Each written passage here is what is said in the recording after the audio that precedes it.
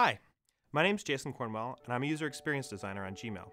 We've been hard at work to update Gmail with a new look, and I'm excited to share with you some of the biggest improvements.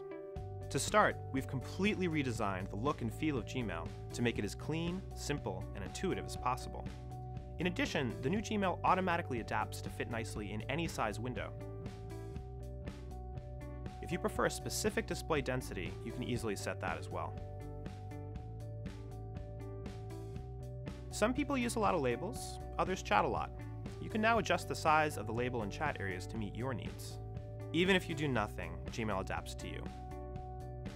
The new look allows themes to really shine, we've updated many of them with new high resolution imagery. You may want to take a moment to check out one of the many new high definition themes.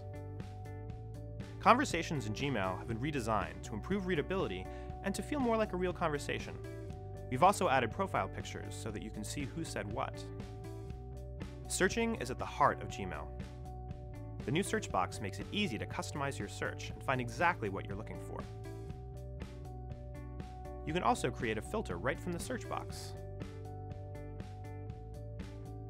We're excited to finally share the new Gmail with you and hope you'll enjoy the new design as much as we do.